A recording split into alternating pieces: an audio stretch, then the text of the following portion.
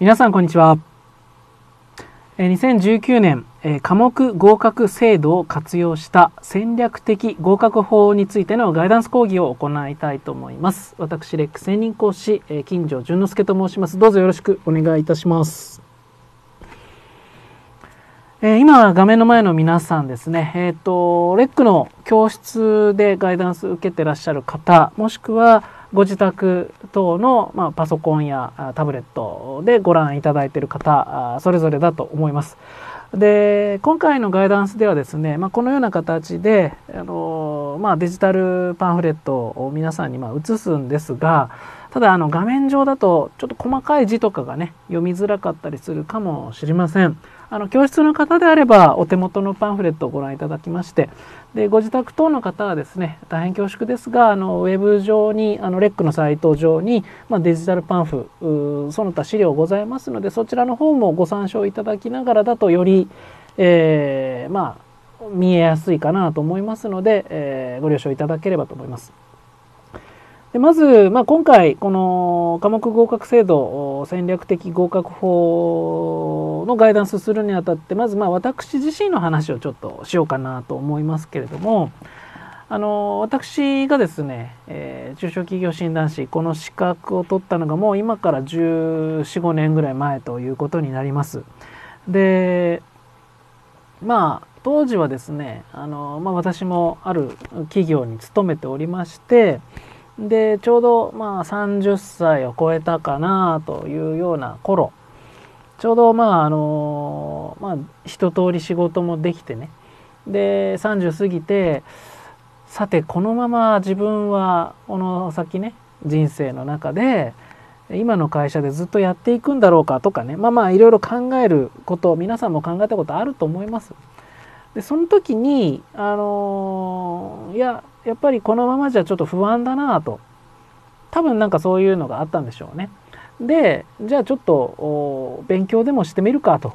いうような形であの学生時代すごい勉強嫌いだったんですけどもまああのとりあえずあの勉強始めてみるかってことでいろいろこう探してたところ出会ったのが中小企業診断士という資格だったんですね。で非常にその幅広い科目を学べるということでまあ当時あの私が受験生の時は8科目あったんです。だから今は皆さん7科目なので1科目減ってますから当時の私たちの頃よりはあの1科目分負担は軽くなってますのでより受験しやすくなってるんですけどもまあ当時8科目あったんです。8科目もこうね勉強できてでそれこそ1科目1科目が全然違う内容なのでまあまあ面白くですね、え、勉強はできたんですけどもただ当時は一発合格といってその8月に一次試験10月に二次試験という体制はまああの今とね一緒だったんですけどもこのパンフレットでいきますとちょっと後ろの方にあのケジュール載ってるとちょっとデータが重いのかな？よいしょ。ちょっと待ってくださいね。出てこないな。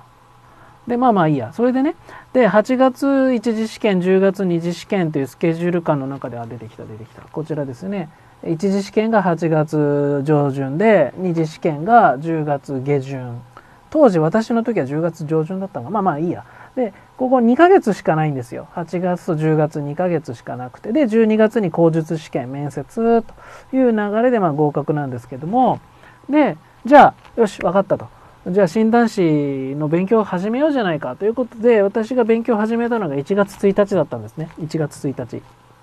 で1月1日から勉強を始めて、まあ、8科目ですから当然こう1234567 7ヶ月で8科目やらなきゃいけないので、まあ、かなり大変でしたけども、まあ、大体ですね960時間ぐらいかな。あの全部勉強時間記録してたので960時間ぐらい、えー、勉強してまあちょっと今思えばあの時間多すぎ多すぎですけれども、まあ、当時はもう必死だったのね。で大体7割ぐらい、えー、取って合格しました。ただあのもう皆さんご存知だと思いますが一次試験の合格って6割でいいんですよね。60%でいいわけです。私は7割近く取ってしまったんですだからこう、まあ10%、多めに点数取ってしまったわけです。まあそれはそれだけ時間かけたからね。だから一次試験っていうのはマークシートですから時間かければかけるほど点数は伸びます。これはもう間違いないです。なので、まあ、私はその時に、まあ、まあ一次試験通ったと。よしよしということでで10月二次試験までね2ヶ月あるわけなんですけどもただ当時はですね、あのー、まあ、今と違って、あのー、正解が発表にならなかったんです一次試験の。今は一次試験の正解が発表になるのであの一次試験の翌日の月曜日にもうすぐ自己採点ができるんですね。受かったか落ちたかが分かるんですけども当時は分からずにで各受験校がですね、まあ、レックとか他の学校とかが、まあ、あの回答速報を出すわけですよ。はい、で回答速報を見てね。で例えばレックでガーって採点するとまあえー、690点。でどこどこで採点すると、まあ、680何点とかね。やっぱ多少やっぱ違ってくるわけですね。で、えー、何がこうきつかったかっていうと私あのもう恥ずかしさをこう覚悟して言いますけど情報経情報システムが当時すごい苦手で。でレック採点だと40点だったんです40点ギリギリで某ねえー、なんとかって学校で、えー、採点すると36点だったんですね。わかります？トータルは7割で合格点取ってるんですよトータルは。でところが1科目でも40点切っちゃうとこれは今も一緒ですよね足切りってことになるわけです。だからどんなに得点高得点でも1科目でも4割切っちゃうとはいさよならなんですね。だからもう私は一応受験校のねレックを信じてねレックの自己採点のようになりますようにってずっとね祈ってたんですけどもまあまあ祈りつつも、まあ、なかなかモチベーション上がらないわけです。で合格一時合格発表が、まあ、9月10日だったかな当時9月の上旬にあるわけですよね。そうすると9月の10日にこうドキドキしながらこうウェブサイトをね診断協会のサイトを見るとあ自分の番号があったとここから慌てて2次の勉強本格的にいやもちろん8月もやってましたけどもでも今日が乗らないわけですよ。いやーでもこんなにね頑張ってやってももしね情報が足切りだったらああとかねなかなかこう真剣味が足りなかったんでしょうね今思えば。で9月に10日で合格発表を受けてやべえぞともうあと1ヶ月しかないとこっから必死でやっぱりたくさんやりましたけれども、まあ、残念ながらというか、まあ、残念ながらというか順当ですよね。落ちましたよ。はい。10月私落ちました。で、ああ、やっぱりこう反省するわけですよね。もっと早く2次の勉強、もっとね、真剣にやっておけばよかったと思ったわけです。で、当然もうあの悔しいから翌年、もうワンチャンスね、二次試験は、あの、実はあるので、あの、一回落ちても、もうワン、ワンチャンスね、あのいや一次試験免除です受けなくていいですよ2回受けていいですよっていう制度があるのでもう翌年はもう必死こいて受けるわけですよ。でまあ翌年で受かったわけなんですけどね私は。だからその何が言いたいかっていうとこの二次試験受けに来る人の属性なんですよね。だ当然その年初めて通過した一次をクリアした人初めて初心者の場合もあれば去年落ちてる人もう必死ですよ。だってここでまた2回目落ちちゃうとまた1時から3回目始めなきゃいけなくなっちゃう。それはやっぱりまた1時からかと。3年目1時からやるのはもうこりごりだ。でも必死のもう排水の陣でやってくるわけですから死に物狂いですよ。そういう人たちとこの10月に戦わなきゃいけないわけです。でましてや一次試験は絶対評価なのであの420点取れれば全員合格。ところが二次試験は相対評価です。ですから上から、まあ、800人とか上から900人しか受かりませんと。だからライバルとの戦いなんです。相対評価なんです。だからシビアなんです、はい、なので一次試験はもうとにかく自分との戦いですよね。一方で二次試験というのはライバルとの戦いになってくるわけだからそもそもがあの一次試験二次試験で同じ中小企業診断士試験ってタイトルついてますけどもう全く別の試験って考えた方がいいんじゃないのかなって私はもう思うぐらいで、はい。まあ、私自身の経験もそうですし今の受験生の状況を見ても全く違いますよと。勉強の仕方もやっぱり変えないとねということであの、まあ、今回このやっとタイトルに戻ってくるんですけどあの科目合格制度を活用した戦略的合格法ではそういった1次と2次の違いなんかも踏まえてねでいかに、まあ、来年2019年の完全合格を目指すかそのためにはじゃあどうすれば一番合理的なのか効率的なのかというところを、まあ、ご紹介していきたいなと思います。まあ、細かくはねあのパンフレット読んでいただければわかるんですけれどもあのダイジェスト的にちょっと皆さんにお伝えしていきたいなと思います。で、えっ、ー、と、まあ、ご存知の通り、一次試験7科目、二次試験4科目という構成になってます。で、一次試験と二次試験の、まあ、あの、関連性のお話をしたいと思います。で先に二次試験の方なんですが二次試験って、えー、ここにちょっとね字が小さくて見えづらいと思いますが、まあ、組織人事マーケティング生産、えー、それから財務とこの4科目なんですね。でこの2次のこの4科目はじゃあ一次試験のどこで学びますか？一次試験と二次試験の関連性はどこですか？というともうシンプルにここです。1日目のこの3科目財務企業経営運営管理というこの3科目が2次に出ます。いいですか？あの一次試験は1日目と2日目に分かれてますね。ここでちょうど分かれてますよね。1日目4科目2日目3科目の科目構成になってます。そのうち1日目の3科目がそのまんま2次に出ます。大丈夫ですよね？ということはもうお気づきですよね。1日目の1科目目経済学と2日目の3科目法務情報中小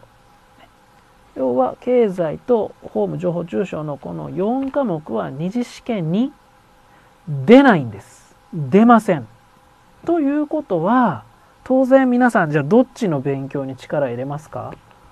うん。ね。この財務企業経営運営管理は2次に出るから当然重点的に学習すべきですよね。一方で2次に出ない科目については当然じゃあもうマークシートを塗るためだけの勉強すればいいわけです。そもそも勉強の仕方が違うということなんですよね。まずそこを念頭に置いてください。でもう一つ今科目合格制度を活用したということでもこちらもご存知の方多いとは思いますが、えー、ちょっと画面を大きくして、えー、ご説明しようかなと思うんですがよいしょ。ちょっとねよいしょ。パソコンの画面上でちょっと大きくなるかな。はい。ちょっとこちらに、えー、と科目合格制度につきましてということでまああの例が書いてあります。えっと、2018年と2019年という2つのね、えー、欄があって、仮にですね、2018年の欄をご覧いただいて、経済学65点、財務35点、企業経営50、運営管理40、法務70、情報60、中小55と。で、これで375点。もちろん420点に足りませんので、不合格です。ところが、ご覧のように60点を超えた科目経済学法務情報この説例ではこの3科目が60点を超えてますのでじゃあ来年2019年は受けなくてもいいですよ免除申請っていうふうに書いてありますね受けなくていいですよと。ということは残ったのが財務企業経営運営そして中小の4科目です。4科目で、えー、四六24、240点取ればいいわけです。4科目で、えー、この例だと、まあ、250点なので、晴れて合格ということですよね。はい。もちろん、その4科目で2年目はね、えー、240点取ればいいので、例えば55点とかでも構わないわけです。トータルで、あの、ね、6割超えればいいので。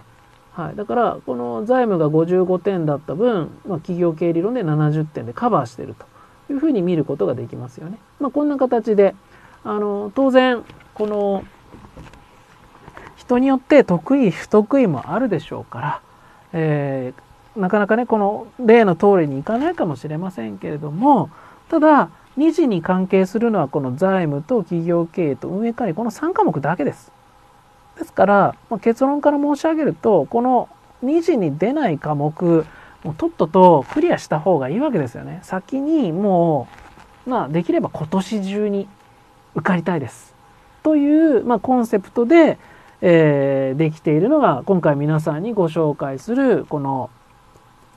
まあ、1.5年のですね、えー、コースということになるわけです。ですから、えーと、このパンフレットの、えー、一番最初の方ですかね、えー、ちょっとページ今戻してますけれども全体のカリキュラムをちょっと皆さんにご紹介したいと思います。こちらですね。はい。えー、っと、まあ皆さんが今ご覧いただいているのは何月かちょっと分かりかねますが、まあ今年の、まあ、初旬ということでね。で、えー、そこからですね、この真ん中の部分が今年の一次試験だと思ってください。2018年の一次試験です。つまり、ここに向かって、とにかく、えー、周辺4科目ですね。法務、情報、中小と経済学の4科目をまずじっくり学んでいただきます。えベーシック、ステップアップ、アドバンスと総まとめという構成になってます。えこれちょっとまた大きくしますね。はい。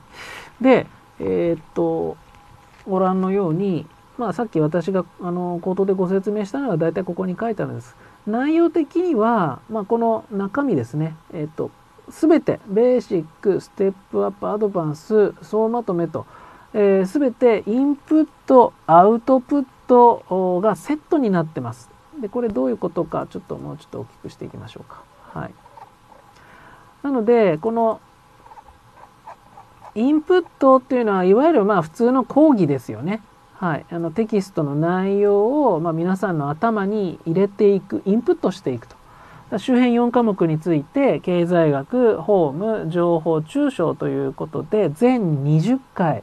はい、1回あたり2.5時間の構成になってますので全20回ですね。まずはインプットと。でそれぞれその回の例えばこれ経済学が6回って書いてありますよね。6回講義が終わった後1回テストがありますよと、えー、経法務5回講義が終わった後6回目にテストがありますよと情報も5回が終わった後テスト中小も4回が終わった後テストというふうにインプットとアウトプットがセットになっております。内容はベーシック、基礎レベルということになりますね。で、これが終わったら、じゃあ今度は次、ステップアップしましょうと。同じくインプット4回、で、アウトプット4回ということですね。で、ここでこのオレンジの部分ご覧いただくと、ステップアップもし周辺4科目というふうに書いてあるのがご覧いただけると思います。で、こちらはいわゆるその全国の、まあ、受験生と、まあ、同じ時期にですねどれぐらい、まあ、達成度を達成してるのか、ね、仕上がってるのかっていうのを、まあ、中間模試みたいな位置づけですかね、えー、仕上がり感を確認するという模試になってます。で当然これは、まあ、受け受けると、まあ、大抵がですね、はあ、全然できなかったとかねまだまだだなっていうのを痛感していただく模試です。あの本試験レベルです。だから、まあ、まだまだ、ね、えー、足りないなと実感していただいて、よりね、一層、えー、勉強に励んでいただき、最終的に、まあ、このアドバンスの方に進んでいくわけですね。で、アドバンスも同じように、インプット4回、テスト4回というね、あの、周辺4科目についてあります。で、それで、まあ、ちょうど6月末ぐらいでしょうかね、えー、に、ファイナル模試ということで、これはもう本当に最後の総仕上げと。いう位置づけですね試験の大体1ヶ月ぐらい前ですかね例年はいあの細かいスケジュールはあのスケジュール冊子ご覧いただいてファイナル模試というのがありますでここで最終的な仕上げに向かって一気にねここで最後の,、まあ、あの力試しと同時に、まあ、あの残された1ヶ月の時間の中で仕上げ仕上げていくためにこの、え直前総まとめ講座と、はい、いうのを各ま2回ずつですね周辺4科目についてインプットとアウトプットセットになった総まとめ講座というのが用意してありますと、まあ、こういった構成になってます。非常にあのきめ細かくなってます。で、まあ、これらについて、まあ、あのしっかり、えー、ベーシックステップアップアドバンスと、あの3ステップね上がっていき最後に総まとめで、えー、しっかりと固めた上でこの一次試験今年の一次試験戦っていただきますで理想はここで、まあ、この4科目合格しちゃうことですよね。で合格していただきましょうと。で合格しましたと。いうことで合格した後じゃあ晴れて8月以降ですね。一次試験8月上旬ですから8月以降にじゃあ主要3科目ですね、えー、企業系理論運営管理財務会計の3科目について同じようにベーシックステップアップアドバンス。ということでインプットアウトプットのセットになって当然その模試ねもちゃんとついてますよと。た特徴的なのがこちらです。下の段ご覧いただいて。はい。えー、こちらが2次ベーシックということで、まあ、時期的にはもう大体、まあ、ここ真上だと2018年11月って書いてあります。まあ、大体来年のまあ年明けぐらいですかね。1月ぐらいからもう2次が始まります。というのは、やっぱりこの一次ベーシックね、えー、企業経営、運営管理、財務、この2次に関連する科目を学んで、早く、いち早く2次を勉強していただくと。はい、さっき冒頭でね、お話しした通り、えー、二次試験というのは、たったの2ヶ月、8月から10月までの2ヶ月しかないと。だから、できるだけ早めに勉強しといた方が良かったって私言いましたよね。だから皆さんにはできるだけ早めに前倒しでね、もう来年の年明けぐらいからもう2次を始めていただく。これでもう万全の体制を持って2次に進んでいただくというカリキュラム感になってます。でもちろんですね、当然これ今理想の形の話をしてまして、えー、今年4科目受かって来年3科目というね、目論見みではありますけれども、万が一ですよ。例えば今年4科目厳しかったと。今年はじゃあ2科目だけでしたというのももちろんありえますよね。ね、それでもご安心ください。あの、当然この8月以降のところでも、この主要3科目以外に、そういった周辺4科目もちゃんとね、講義はあります。受講できますのでご心配なくね。だから、いや今年ね、えー、始めたのが、まあ、例えば5月から始めたと。ああそれだったらじゃあ2科目とかねまあ多くても3科目厳しいかな、ま、2科目3科目ぐらいの方もになる方も多いと思うんですよ。そういう方もじゃあ残った科目も収容プラスアルファで受けられますからねご安心ください。で、えー、とにかく大事なのはここですね。一刻もこう早く二次試験の勉強が始められる環境にあるかどうかなんです。ここが来年の完全合格を決めるんですね。ですからしっかりとまああの計画的にねまああのなるべく今年周辺を削っておけばね周辺を減らしておけばその分だけ2時に勉強時間回せるわけですよ。ところが、まあ、あの今年なかなか受かれなかったと6科目残ってるよというとやっぱりどうしても1時の勉強に時間を使わざるを得ないのでなかなかこう2時の方の比重がねえー、こう軽くなってならざるを得ないということで、まあ、そこの厳しさがありますのでねその意味ではできるだけまずは今年の一時でできるだけですね皆さんに受かってほしいなと周辺科目ね受かってほしいなということになってます。はい、で、えー、最終的にじゃあ来年の一時これで7科目受かりましたよと。じゃあ晴れて残り2ヶ月はもう仕上げのねもうアドバンスレベルですもうこの時点でアドバンス講座当連を受けていただいて差を仕上げただからこうその前提としてすでにもうベーシックとかがもう終わっている、ね、過去問の基本的な内容も頭に入っている前提でのアドバンスですからね、はい、だからいきなりアドバンスっていうのはもちろんまあありですけども2次については。とはいえやっぱりやっぱどれだけね2次をこう早めにやってるかによってここの仕上がり具合が変わってきます。当然来年の二次試験の合格可能性にも関わってくる。重要なポイントですからね。ですからぜひぜひ、えー、皆さんは、まあ、あのこの戦略的におまあ、今年は周辺3科目来年は残りと2次だよというところで、まあ、分けてね勉強していただくような、まあ、スケジュール感カリキュラムということになってますと。まあ、これが全体像の説明になります。でやっぱり、まあ、これはあの私の経験でもありますけどもあの特に、えー、通信教育の方、はい、もちろんあの通信で勉強されるって方もいらっしゃると思います。で何を隠そう隠してませんけど私も通信教育なんです。通信で勉強するとですねまず一番の敵はですね自分なんですよ敵っていうかな一番のハードルっていうのかやっぱりその人間ですからもう眠いとかきついとか遊びたいとかね飲みたい飲みに行きたいとか飲み会行きたいとかね私もお酒好きですから。だか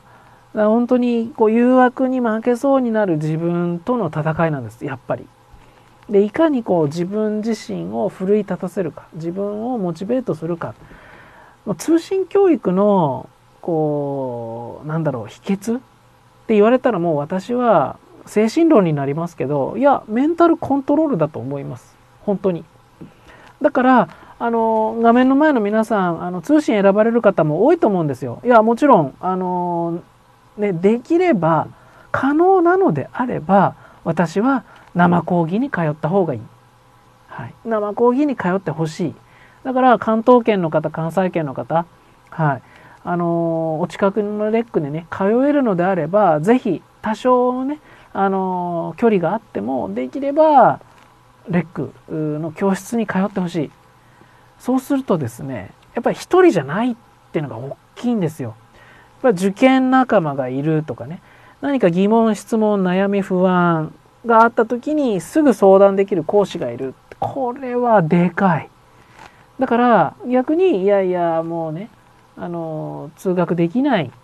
あの距離的にも、はい、住んでいる場所的にも通学できないよと。もう通信しかないよと。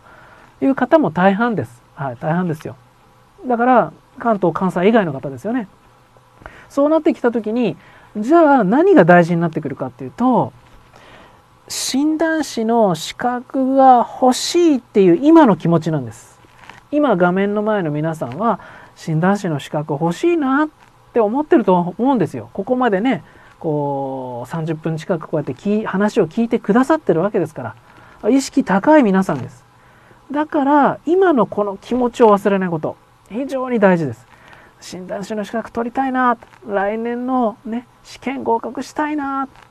ていう今の熱い気持ちね。で診断士取ったらこうなるぞと。会社内でステップアップするぞキャリアアップするぞでもいいしいや診断士とって独立するぞでもいいし。とにかくもう最終的なゴールイメージね。取るぞこの気持ちを忘れないこと。そうじゃないとやっぱりねこう一人だとね通信だと心が折れそうになる時あります。なかなか点数が伸びないとかね。